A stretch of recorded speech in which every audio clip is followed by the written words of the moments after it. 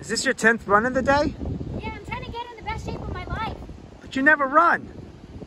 Hey guys, so how many of you guys are outside walking a ton, right? There's not a whole lot to do um, in terms of exercises except for getting outside and walking, jogging. Maybe you guys are taking up running as a new sport to kind of get into shape.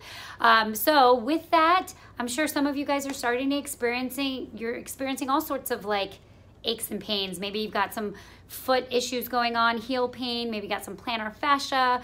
Um, is your knee starting to bother you? Um, you know, back issues. So I wanted to give you a couple of um, different stretches and guidelines as far as what you should and should not be doing. Because again, you don't, if, if you don't run typically, and because the gyms are closed right now, you don't want to go out and start training for a marathon all of a sudden, okay? Because that's not going to be so super healthy for your body. Um, but I wanted to give you some tips and guidelines. First of all, if you are going to be taking up running as your new sport, make sure you are wearing good shoes, okay? I can't stress that enough. Make sure you have a pair of shoes that the soles are actually intact. They're not like your running shoes from 10 years ago that you decided to start putting on. Um, walk, don't walk in sandals, don't walk in flip-flops, really wear good, comfortable, supportive sneakers when you guys are taking walks outside. And again, you don't wanna, you know, if you haven't ran, you don't wanna have your first, you know, couple of miles be like three miles. Start with you know, just start with a mile, mile and a half, and maybe every other, every two days, work your way up. Don't start running every single day. You're gonna start end up giving you guys going to have more issues, okay? Now, for some of you guys who are starting to develop um, any type of foot or heel pain, I'm to give you a, a, stretch that I think is super important for you to do. The other thing is because we're sitting a lot more these days, our hip flexors are probably starting to get tight, so I'm to give you a hip flexor stretch.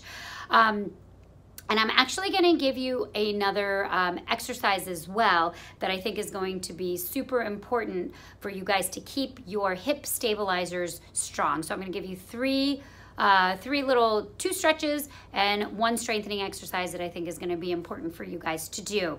And start incorporating those into your exercise routine and see if that starts to help any of your aches and pains. So I hope you guys can see me. Um, but first video is a calf stretch actually. So wanna find a wall, okay? You want your knee for this one to be straight. Now there's two muscles that are actually in your calf. And the reason why this is important to stretch is because when you are walking and running, you want to be able to have flexibility to kind of pull your um, foot up like this. And a lot of people, when they develop foot pain, it's because they actually don't have the length in their calf muscles. So you wanna find a wall, okay? Place your, your knee is gonna be straight on this one. Your heel is going to touch the floor. I hope you guys can see me on this one. Okay, I'm gonna come closer. There you go. Okay, your heel is gonna come on the floor and you're going to lean forward, okay, and kind of do a little lunge. You should feel a stretch in the back of your calf, okay? You wanna hold that for about 30 seconds to a minute, switch to the other side, and then the other thing you wanna do is you actually want to then, after you finish this stretch, do the same stretch, heel stays down, but your knee is gonna bend slightly. Remember, the heel still stays down. And you're gonna feel that stretch maybe a little bit lower in your calf. It's gonna get another muscle that's deeper into the calf. And you wanna stretch both of those. Okay, so 30 seconds to a minute on that one. Then for this next one, hopefully you guys can see me here, we're gonna do a hip flexor stretch. So what you're gonna do is you are going to come into like a half, like a half kneel position like this, okay? And what's most important about this one, okay, this is where these hip flexors, okay, tend to get tight because we're sitting all day like this. So this is a, you know, we're in this shortened position all day long. So we need to really lengthen those because this is gonna be, import, be important for jogging, walking, and running, okay?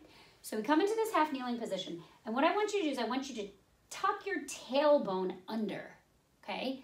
So use your, you're gonna feel your pelvis kind of rotate backwards, okay? So you're gonna feel this bone rotate backwards.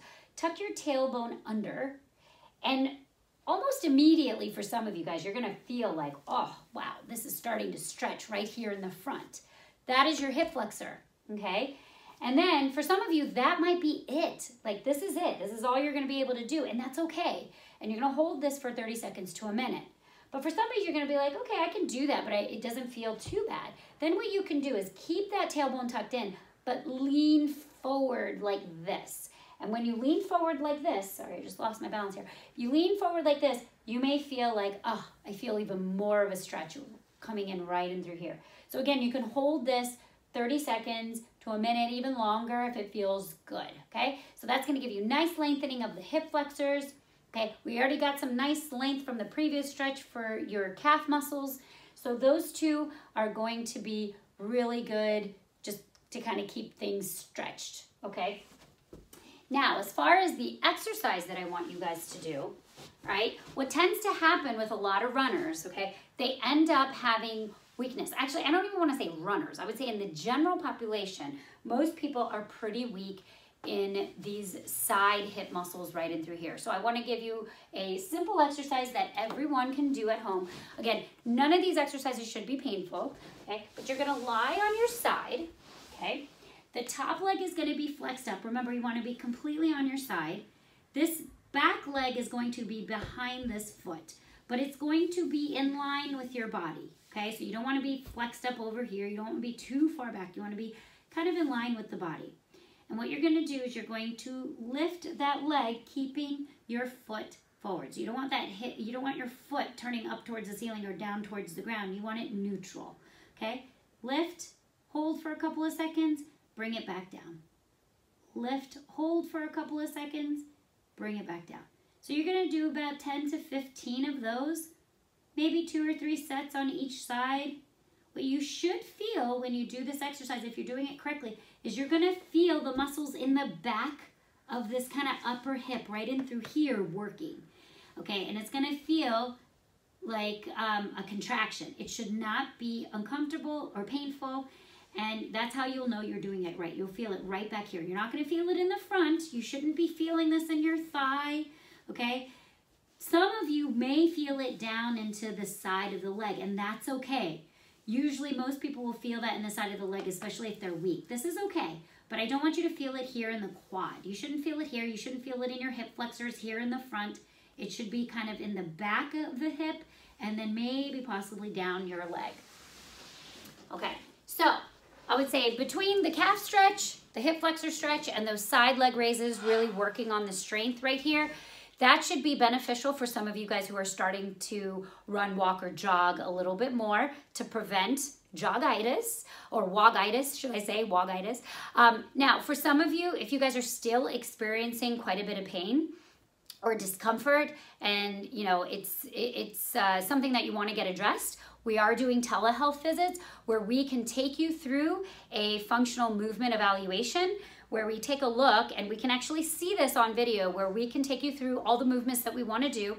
We can actually get you to help even touch certain muscle groups that we need you to touch to kind of figure out um, what's where the problematic areas are, take you through range of motion and all of that good stuff, and really figure out, hey, this is what we think is going on, and here are even more specific stretches, release techniques, fascial techniques, or even exercises that you need to start doing. And it's incredible how that might actually change how you are feeling and uh, get you out there and being able to still stay active and healthy during this time where, you know, it's, it's going to be difficult to get into the gym. So, um, our information is actually down below in the information box. But for if you can't find that, our website is www.rebalancept.com. That's R E B-A-L-A-N-C-E-P-T.com. You can contact us, let us know that you're interested in a telehealth evaluation, and um, we'll tell you if you are able to do that and, uh, and get you set up for that. All right, so you guys have a excellent week. Stay healthy, stay safe, and we'll talk to you soon. Take care.